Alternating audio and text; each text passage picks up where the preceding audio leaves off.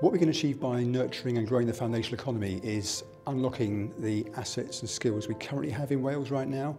Uh, there's a huge potential um, to build on the strengths that a wide range of organisations, public, private and non-profit have been doing for years to do, to do far more to promote well-being and prosperity.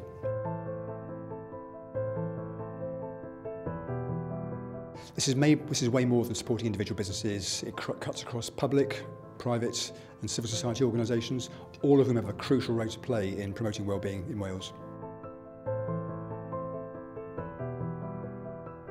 We're going to be able to judge success by seeing small examples and um, pockets of good practice becoming more embedded and stronger uh, and, and being more effective in the communities that, where, it's, where this stuff's happening. We're going to see underserved communities um, benefiting from, from new uh, models of delivery.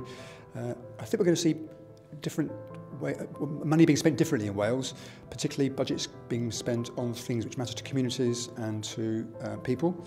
And lastly, we're going to see success in terms of shift in spending to more preventative agendas, um, dealing with stopping problems happening rather than dealing with the kind of end of pipe uh, situation we normally work with.